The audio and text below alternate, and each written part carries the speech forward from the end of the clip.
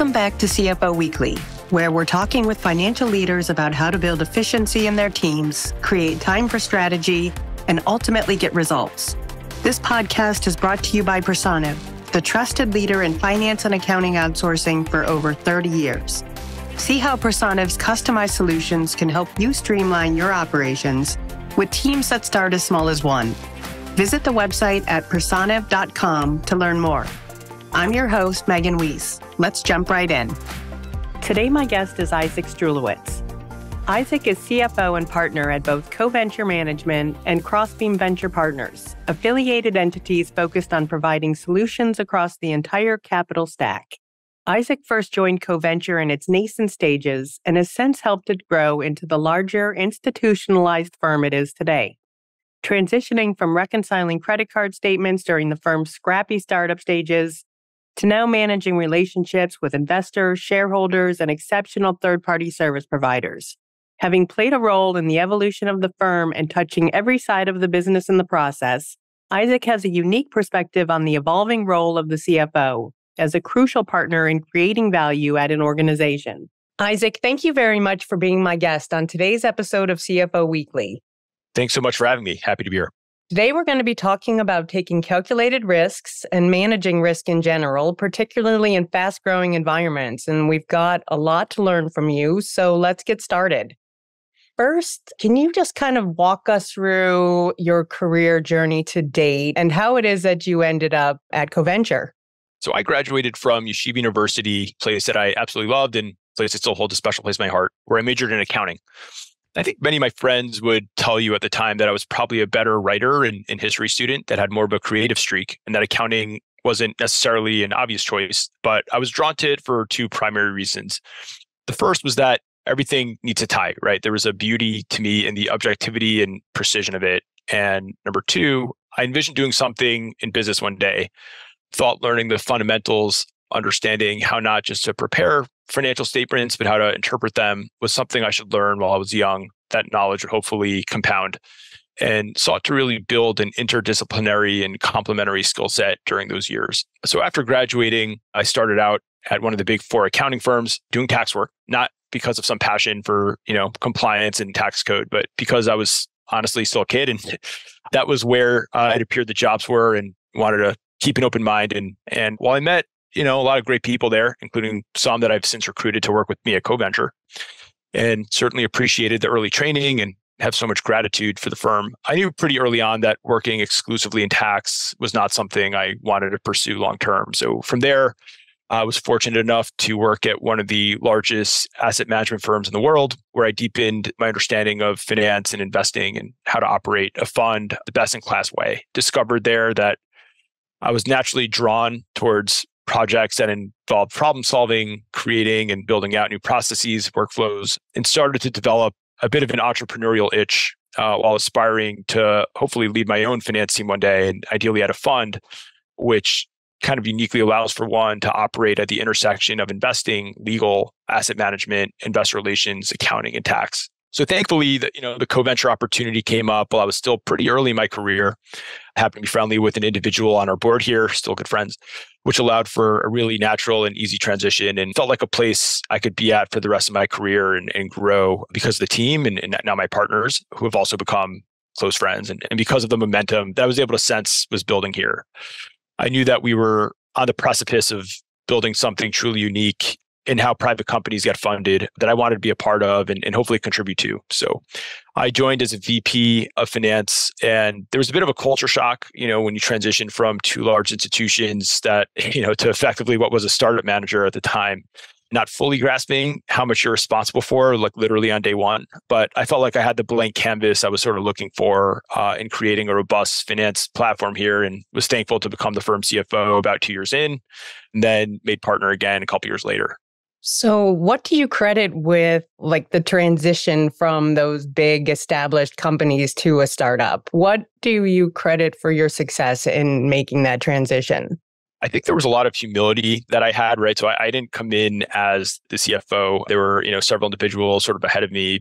I really took my own growth and learning really seriously. I used to have a really terrible commute into the office from here in New Jersey where I would, you know, literally bring textbooks with me onto the bus. I called it like my bus MBA. And on top of that, I would really annoy uh, a lot of uh, mentors that I had relied on, Savneet Singh, who, who worked closely with us, and, and many of our LPs that have since become friends, because I understood that, you know, there's a lot I needed to learn. And I think there was a humility to it and, and, genuinely was coming from a place of wanting to succeed and wanting to see the firm succeed. So I really just credit that. You know, I still often tell people, you know, this is what I've seen works, but I'm always open to changing my approach in light of new information. So I think having that humility, I know it sounds counterintuitive, I guess, to hear somebody brag about their humility, but I think that was really it. And, you know, there's obviously just an obsession and work ethic that I had where, you know, it got to the point where I was brought into board meetings, eventually started leading a lot of them, and then just kind of naturally became the CFO. And risk is essentially what fuels a business like CoVenture. Taking risks on startups that could open new economies and innovation is obviously what brings the reward. And it's your job to mitigate that risk. So, how do you balance those responsibilities? It probably makes sense to kind of discuss what, what CoVenture is because there's risks throughout all different layers of the organization. So, I guess today, CoVenture, for those who don't know, is an alternative asset manager that has a suite of private capital solutions housed primarily within three business lines. Our first is our credit fund, so that largely provides non-dilutive capital to tech-enabled companies through different private credit strategies with a particular focus in financing novel, mispriced asset classes that are traditionally overlooked by banks and, and traditional lenders, usually through asset-backed structures and growth financing. A couple of examples include YouTube content financing backed by the ad revenue generated from the channels, as well as tailored financing for growers in the produce and perishable goods industry through proprietary inventory tracking tech, to kind of just name a couple there. Our venture capital arm is called Crossbeam. Crossbeam primarily focuses on leading seed and Series A investments into emerging trends such as fintech innovation, platform economies. And then our third strategy, our newest, uh, is our hybrid capital solutions fund. And that's sort of a natural outgrowth of the firm's evolution and, and, sits at the intersection of equity and credit. Our hybrid fund uses flexible structures such as convertible debt, preferred equity, other hybrid type instruments that look to combine debt like protection with equity like upside. So I'd say that risk is obviously core to what we do, and obviously taking risk engenders upside, right? I love the quote from the football coach Bruce Arians, which is one I try to live by personally, which is no risk it, no biscuit, right? So you need to balance smart risk with smart mitigation is sort of the way we approach it. And because if you do what everyone else is doing, by definition, you won't outperform. So risk is sort of inherent to, and I think again, looking at CoVenture, there's risk across asset level, fund level, and then the organization at the asset level, you know, again, we're often dealing with very early stage companies, of course, that often are accompanied with complex assets themselves, right? And so after we develop a thesis, for example, you know, new monetization models within the creator economy, yeah, I think there's a pride that we've taken in our ability to sort of ground our investment process in what we believe are sort of these real unique data driven insights rather than looking, you know, for hype. And we try to look for what my colleague Ali will call the aha moment. So there's typically a rigorous and pretty thorough diligence process performed by our teams where the underwrite is intended to optimally structure the investment, be it credit or venture. And of course, there's a, obviously a different approach between the two, but a lot of the same principles I, I would think apply. So, you know, with credit, I think you're primarily looking to protect the downside, obviously, right? There's always the trade off between yield and advance rate. So, in other words, how much current income we want to generate versus how much loss protection that we want to structure in. And our loans are often structured in a way where they're secured by specialized assets that are ring fenced and, and, collateral that's originated by our portfolio companies. So we feel that this mitigates a lot of the corporate risk that we'd otherwise take and that many venture debt providers um, are comfortable taking. On the hybrid side, we strive to provide downside protection through seniority as well as negative covenants. I'd add that we're also pretty selective, particularly in the current environment we're in. And I think we'd much rather miss out on an opportunity if it doesn't make sense, if we don't find that aha moment, rather than just kind of swinging the bat aggressively with excessive risk taking in the pursuit of hype. That valuation that doesn't really make sense for us. And then you know, after the investment's funded, we have a very proactive asset management group that does a terrific job monitoring. Maddie and Matt do a wonderful job on our team. And then at the fund level, I'd say we look to mitigate concentration risk to specific names or sectors. On top of that, we have robust compliance protocols in place, the you know internal controls that are implemented, in particular with wire transfers and those types of things. We were pretty early, I'd say, compared to most firms of our size, to bring on both an internal chief compliance officer as well as a general counsel. Something that we take pride in. So at the organization level, there's obviously all sorts of risks, regulatory, team stability, reputational, counterparty risk. But you know, at the end of the day, having a robust compliance protocol, I'd say really go a long way. And our team does a great job of keeping risk mitigation at the forefront.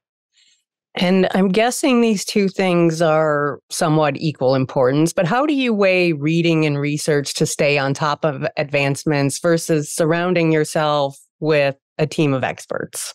So I'd say in general, reading, obtaining knowledge, continuous learning, all that, in my view, and I think the firms view, is prerequisite. And I personally try to set aside time for it and make it routine. If it's a late night or whatever the case is, definitely try to at least read one page just to keep the muscle moving. And I, you know, I listen in on countless earnings calls with relevant companies just to kind of hear their point of view and what other management teams that I look to emulate are seeing.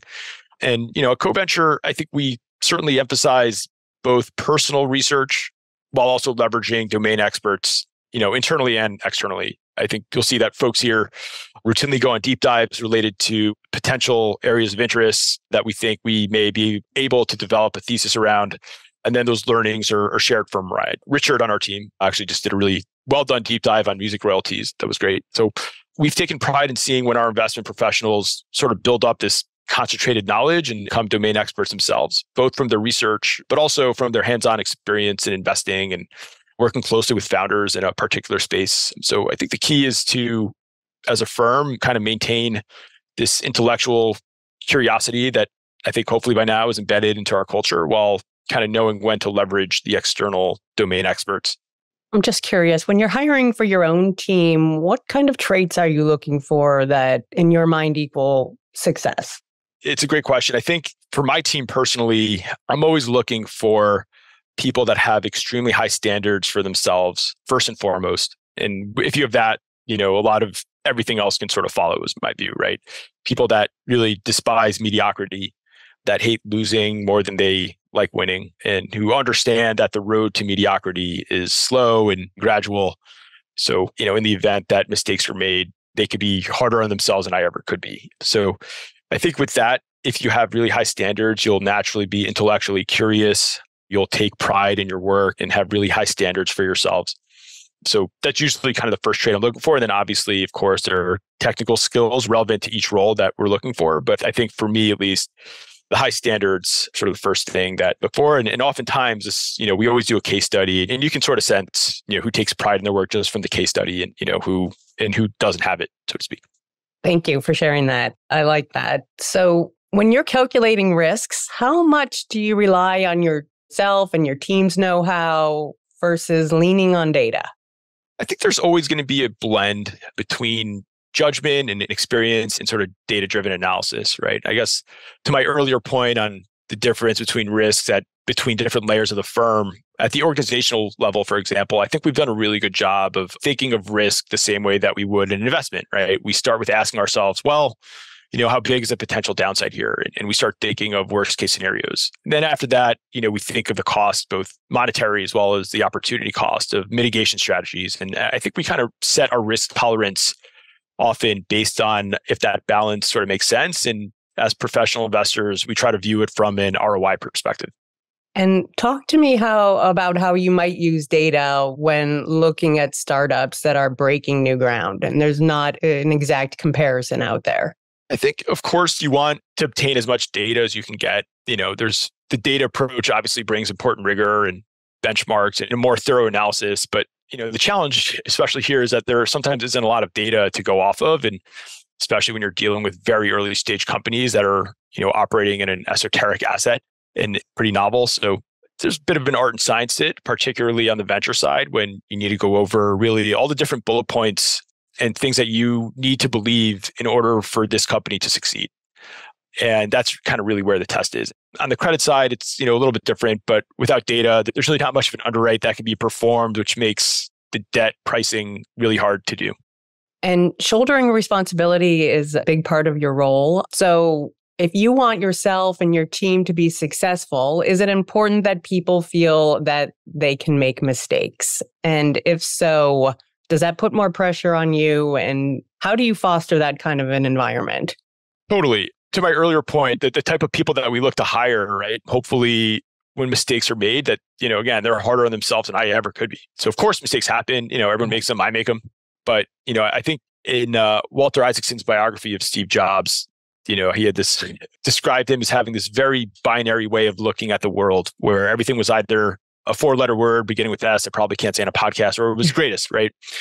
You know, of course, while I believe there's room for nuance, I do love the simplicity of that and, and appreciate the high standards that Jobs had, right? And I think the folks, hopefully in our team, kind of feel the same way that when mistakes are made, they, they I can come from it of, of an approach of, you know, hey, it's cool, you're learning and because again, they already kind of feel that pressure internally and have those high standards for themselves. And you have a lot of experience growing businesses and growing wealth. So, what are some of the most common mistakes that you see businesses make when looking for speedy growth? Wow, how much time you have? I'm just kidding. I think a big one is not truly understanding ROI, right? So, yes, there are some things that are just purely qualitative and some things that are purely quantitative. But I think, you know, certainly here, anything that's added into the OPEX budget, there's, in my view, an hourglass where the ROI clock is ticking, right? And, and every expense needs to add value. If not now, then then certainly there needs to be a roadmap for for when it will. And I guess the amount of times that I've heard people sort of defend questionable things as ROI positive that were, you know, pretty subjective, it happens pretty often. And then the next one I'd say is hiring, which I've learned certainly is an art form, right? It's hard to get the call it the Goldilocks of the right amount of people at the right inflection point of the firm. I think under hiring is dangerous. And, you know, some tend to overhire, but will do so in, in sort of a rushed way. And there's this trade off that's hard to balance between bringing people in quickly and being patient to bringing in someone that's truly a 10. And what hmm. ends up happening is if you rush to bring on too many people, that leads to bring on mediocre talent, which isn't properly managed, can eventually lead to mediocrity. And then compounding that is sometimes just not knowing when to move off a bad hire. Even here at CoVenture, uh, you know, I've interviewed countless of candidates at this point who all tell me a variation of the same thing, right? I, I want to build something, I want to grow, I don't want to be siloed, I want to get my hands dirty, right? They all kind of say some variation of that. And and all that sounds great. And you know, we love hearing it. But then when they get here, turns out they don't have the stomach for it or, or just can't really handle the difficulty of the ups and downs and the increase in responsibilities. So bad hires do a lot more damage than people realize. Sometimes chuckle when I see as like a KPI, key performance indicator, just like the number of headcount that increased. Well, it tells me nothing if these people are productive or, or not productive. It's important to move off quickly. I know it's really hard to do that and obviously to do so in a humane way, in a helpful way. But I think sometimes companies can just get kind of stuck with with a lot of mediocre talent that they're resistant to move from. And do you think it's inevitable that every startup will eventually hit a growth ceiling, or are there always opportunities to continue to grow if the business remains in a good place? Yeah, sure. I think it's company specific. I'd say culturally, as a firm at CoVenture, like our goal is to always help with our portfolio companies and ideally help them achieve their maximum growth potential, regardless of where they are in the lifestyle. I mean, we take a really long-term partnership approach, which is kind of unique for lenders. You know, there's still some borrowers or portfolio companies of ours that we've been lending to for several years now.